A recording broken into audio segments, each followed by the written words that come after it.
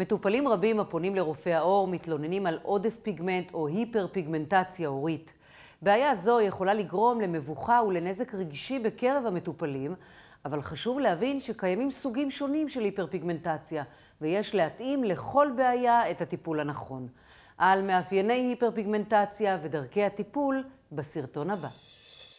ישנם שלושה סוגים של היפר-פיגמנטציה עורית. הבעיה השכיחה יותר נקראת מלזמה, או קלואזמה, או מסכת הריון.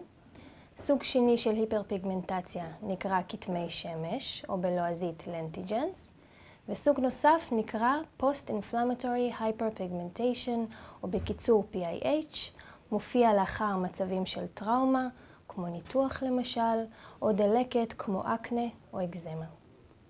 נתחיל ממלזמה. מלזמה מאופיינת בהופעה של כתמים חומים באזור הפנים, בעיקר מצח, לחיים, שפה עליונה וסנטר. מאפיינת אנשים, נשים בגיל הפריון, והיא למעשה בעיה הורמונלית. היא מוחמרת במצבים של עודף הורמונים כמו הריון, נטילת גלולות, טיפולי פוריות.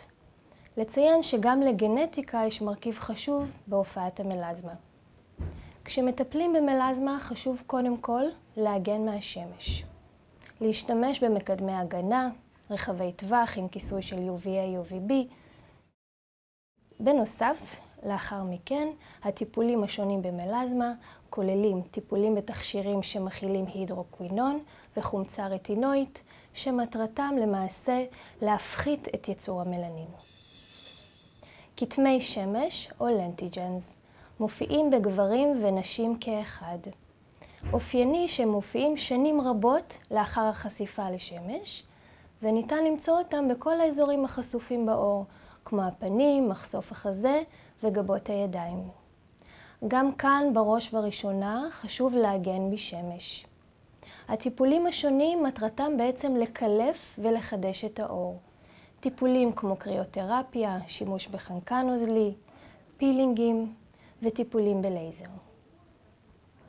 הסוג השלישי, PIH, יכול להופיע למעשה בכל אזור בגוף בו קרתה הטראומה או הדלקת. חשוב להגן על אותו אזור משמש כדי למנוע החמרה של הפיגמנטציה, וכמובן לטפל בסיבה אה, לפיגמנטציה. הטיפולים השונים גם כאן כוללים תכשירים שמכילים הידרוקווינון וחומצה רטינואית. ניתן להשתמש גם בפילינגים שונים ובטיפולים בלייזר. כאשר באים לטפל בפיגמנטציה, חשוב מאוד לפנות לרופא עור מומחה כדי לאבחן את סוג הפיגמנטציה. חשוב תחילה לשלול סרטן עור למשל, לפני שניגשים לטפל בפיגמנטציה עצמה.